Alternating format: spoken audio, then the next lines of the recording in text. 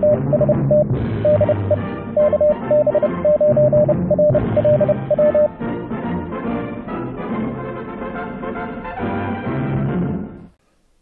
YouTubers and fellow hams. Looking a bit scruffy, but I'm growing my winter beard. I'm going to try to get a nice, uh, nice beard for the cold weather that's coming. Uh, so I wanted to show you a, an, an, open source project that I ran across. Uh, it's really cool. Now, um, a little over a year ago, I think it was, MFJ, yeah, I know, MFJ, uh, released a product uh, called, well, it's commonly called RigPi. Uh, their part number is MFJ-1234. 1234. That's amazing. I've got the same combination on my luggage. Yeah. Okay. Uh, well, anyway, um, it's uh, it's basically a Raspberry Pi with some included hardware for interfacing it to your radio, and uh, some custom software that they've done to give it the ability that everybody's talking about with it, which is remote control of your rig across the network using a device like a laptop, a cell phone, a tablet, so on. Um, there's commercial solutions to do that. Uh, this is one of them. This is probably probably around the mid to lower range of those solutions. Uh, and it seems to work pretty well. And when I saw that, I thought, you know, most of that is built on open source stuff. Uh, sure, they have a really nice, nice uh, polished front end interface that they've made for it. And I think they have an app um, that runs on uh, Android or, or, iPhone to directly talk to it. Or maybe it's all through a web browser. I'm not sure. I've never seen one in person. I've looked at a few videos. Uh, but uh, most of that's built on open source under the hood. And I'm thinking, you know, at the time, I was thinking, it's not going to be long before somebody does an open source project that's similar to this. I mean, most of the work's already done. Raspberry Pi, Raspbian OS, Linux, you know, the, the main, main stuff's already there. Well, um, yeah, there's a project that's going on that's in development that's getting really, really close to being uh, being 100% usable. It's got just a few little issues, needs a little polish, but it's it's getting pretty close. Uh, it's done by uh, F4HTB. I haven't looked his name up yet. Sorry, I should do that.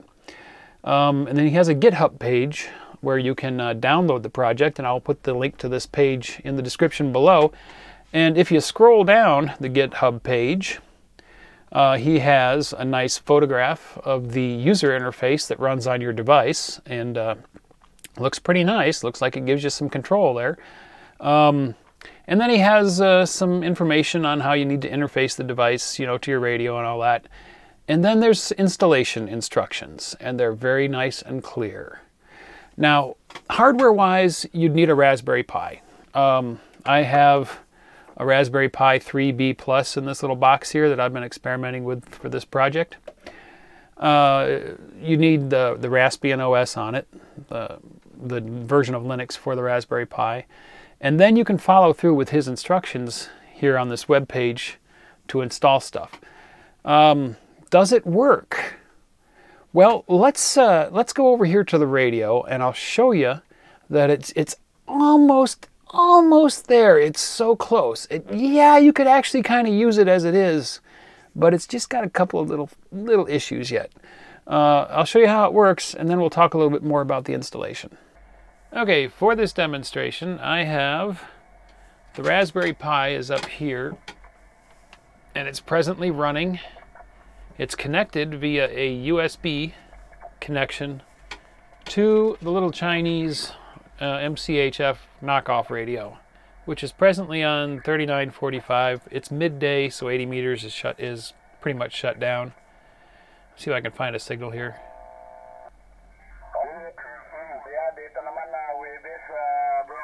Haha, somebody in Espanol. All right, we'll turn the volume down on the radio and I'm going to connect the web interface. This is the web interface, the way it looks um, when you connect to Universal Ham Radio Remote. I already connected, that's why you can see it on the screen. Uh, but you go to the address of your Raspberry Pi and port uh, 8888. So we're ready to go. If I uh, hit refresh, yep, it's telling me welcome. Now, the first time you connect to it, it asks for your call sign and it remembers the IP address of the device you're connecting with. Um, I don't know if it needs that other than just to say welcome every time you connect. Now, if I hit power, what's going to happen is it's going to start streaming audio from the radio.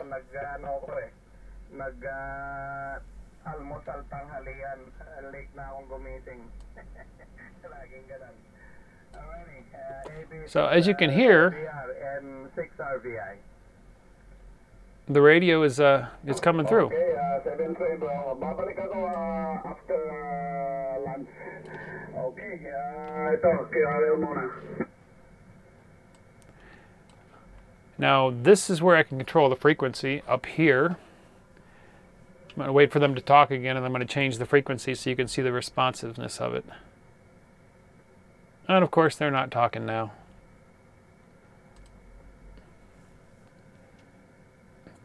If you look up at the little radio here at the waterfall, when I click, you'll see the waterfall reset there. See that? And the frequency change. So it's controlling the radio quite well. Very responsive. Of course, I go to do the demo and there's no activity on the bands. What about, uh, and I'm just using the mouse and I'm, I'm just controlling the radio through the web interface here. I'll click on the 17 meter link. You can see the frequency change on the radio. There we go, some FT8. There's always FT8. Now you can see the responsiveness when I click, click, click. Less than, uh, oh, about a quarter of a second or so um, for the radio to respond. Let's go to 20 meters. Click, almost instantaneous.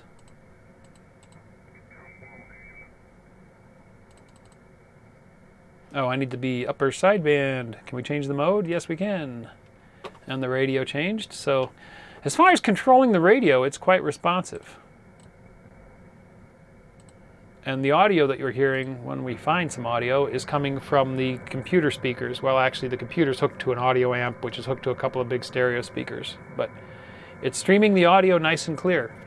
Uh, to transmit, we would just hit this big TX button here, and I'm going to click on it. And you could click and hold, and the radio went into transmit mode.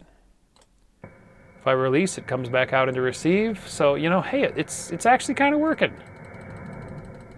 All right. So anyway, Stations on limited time. Please stand by for contact calls until the end of the limited time check-in period. okay. So turn the volume down. So it, it obviously seems to be working just fine for receive, um, and we can put the radio in transmit. Now, when it's transmitting, the microphone on the computer or your tablet or your phone is going to be used to pick up your audio. And in order to show you that audio quality, what I'm going to do is I'm going to use my ICOM 7300 and its recording feature to SD card. And it does not have an antenna hooked up, and I'm switching there, I switched the little radio to the dummy load, and I'll put this on the same frequency.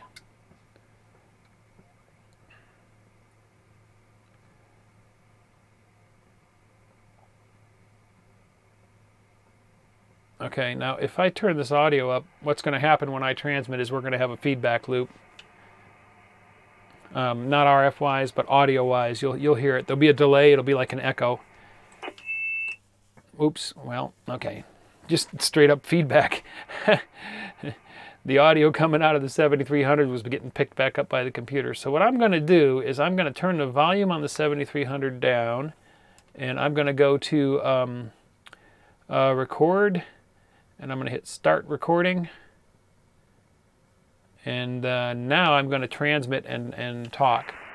Uh, KB9 RLW testing Universal Ham Radio Remote.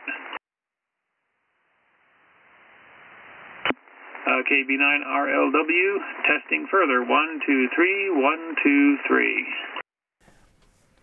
And then I'll stop my recording.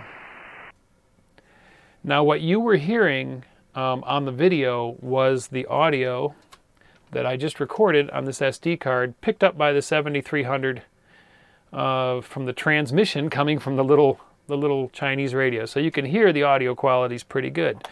Uh, so I, I said in the video that it's almost there. It's working pretty good right now. Um, with the laptop, it works pretty well. If I use a tablet or a phone, and it gets progressively worse. With the tablet, when you uh, come off of transmit, there'll be a small pause and then maybe a little buzz in the audio before the audio stream picks up. And then the audio will lag behind the radio by that amount of time.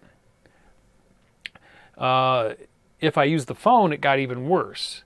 Uh, there would be as much as a four to seven second uh, pause after I released transmit before the audio stream started, and then the receiver would be uh, four to seven seconds behind. So that's uh, you know that's how it works as is today. It, as I say, it's really close. It uh, just has a few little issues. You probably could get away with using it. Um, I was using it completely on a Wi-Fi network, which there should be plenty of bandwidth for that. So uh, I don't know if it would be different or not if you ran the Pi if you were on a home network uh, with an Ethernet connection to it instead of using its Wi-Fi. I don't know if that would make a difference. Um, I tend not to think so because that was the only device, the, the, those were the only devices that were on my Wi Fi network, and there should be plenty of bandwidth there for, for audio streaming. Um, but anyway, uh, let's look at installing it. So uh, let's say you want to play around with this thing yourself. Uh, the GitHub page, as I said, is linked in the description below. His installation instructions on the page are very straightforward. Uh, there is only one thing that I ran across that um, may or may not be an issue in your case. If we look uh, at the top of this installation here, uh, let's see here, we've got uh, git clone. Oh, it's the prerequisites, requirements. Okay, under the requirements section, that first line that you would copy and paste, uh, the apt-get install where you're installing the uh, requirements. Um, there was one bit, and I think it was, yeah, Python 3 pip 3. That did not show as available in the repository uh, for Raspbian. Now, um, Python 3-pip is there, so I just took that number 3 off on that line. And uh, all the rest of them were fine, and, and that worked. That installed. It installed Python 3-pip, and then the next line, sudo pip3 install PyAlsa audio, uh, worked fine. Pip, by the way, is a utility written in Python, I think, um, that is, a, well, it's a program, I'm sorry, it's not written in Python. Pip is a program for installing additional Python modules that, that makes it a little easier than using apt, I guess. So uh, anyway, that was the only niggle I found on the installation.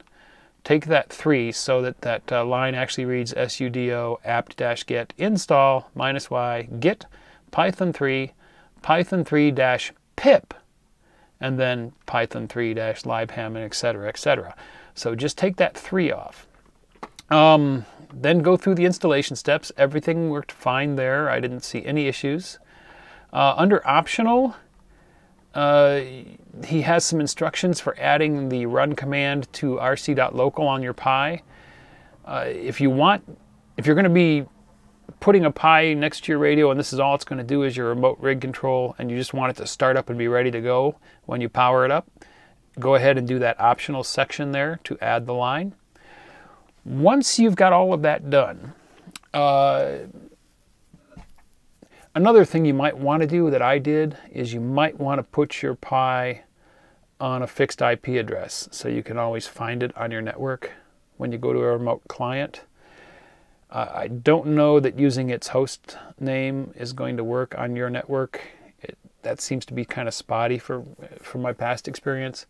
So I, I put my Raspberry Pi on a fixed address and I did that well, there's all kinds of information out there on how to do it, but you, you edit a file in the etc directory um, and, and you can set a fixed IP address.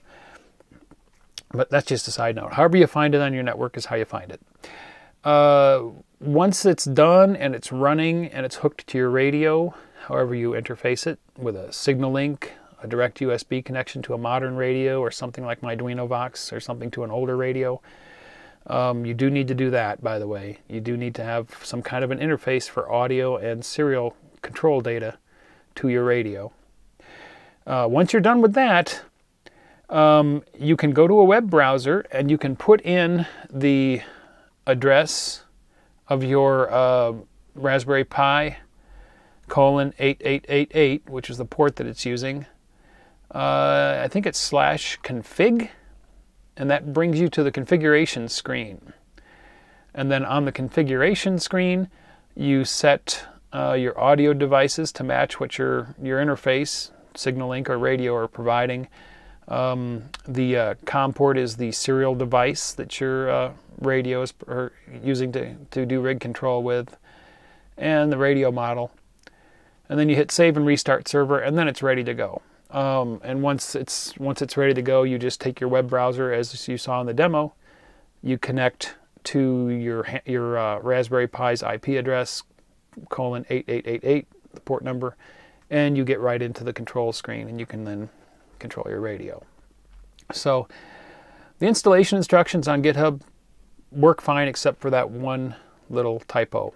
Uh, so anyway that's installation so there you go. Uh, I'm going to be following this project and uh, watching as it as it gets worked on and improved, and uh, hopefully it gets to the point where its uh, operation and usage is a little bit smoother.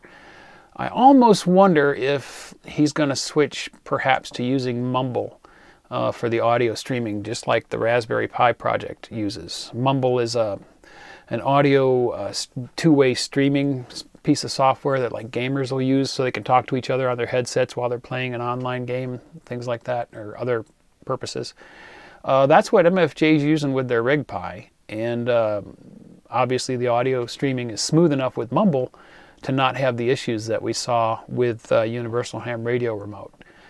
Um, in fact, I think um, I'll put his call here, but there's another gentleman that has looked at um, this project, I think, and uh, has a nice detailed video on installing Mumble and using it to remotely operate your radio sans uh, rig control. So you you know you like if you're using or if you were participating in a net and um, you wanted to go and sit back in your lazy boy, uh, you could just have a Mumble stream set up. Um, and use Vox on your radio, and then just sit there and you know with your phone or your tablet, and uh, remotely uh, QSO on the radio, uh, just using audio streaming. So yeah, Mumble works. Uh, so perhaps um, um, Universal Ham Radio Remote will will change out that audio streaming, or perhaps he'll fine tune it and figure out how to to make it smoother. It's awfully close. it it, uh, it almost works. The user interface on the screen too is a little bit clunky. Um, the tuning, as you saw, you got to hit those little tiny arrows, you know, and if you're using it on a tablet, my fingers, I would occasionally hit the digit next to the digit I wanted, you know, and, and things like that. So there's probably some usability issues with the user interface that could be cleaned up too and make it nicer. But I'm, I'm babbling. You know, as, as I say, it's, it's an ongoing project. It's in development. It's definitely one that I'm going to watch, and I thought maybe you might want to watch it too or play around with it. So there you go. Hope you enjoyed that, and we'll see you in the next video. Thanks for watching. If you enjoyed the video, don't forget to give it a thumbs up. Also, if you're not already a subscriber, click to subscribe. Join us on the Facebook channel for discussion about the videos. And if you'd like to help support this channel, please click to support me on my Patreon page.